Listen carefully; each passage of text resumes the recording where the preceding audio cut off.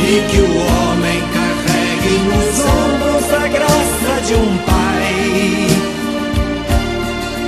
Que a mulher seja um céu de ternura, conchego e calor. E que os filhos conheçam a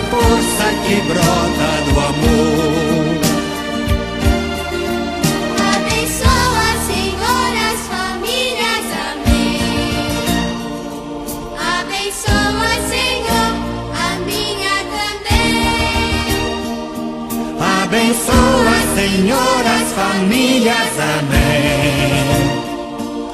Abençoa, Senhor, a minha também.